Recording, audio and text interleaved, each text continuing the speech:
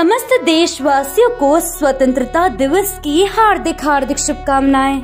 सौजन्य से श्रीमती सीताबाई चंदर सिंह, सरपंच, श्री रामचरण सचिव ग्राम, मंडलखा, जनपद पंचायत शुजालपुर जिला शाजापुर, मध्य प्रदेश।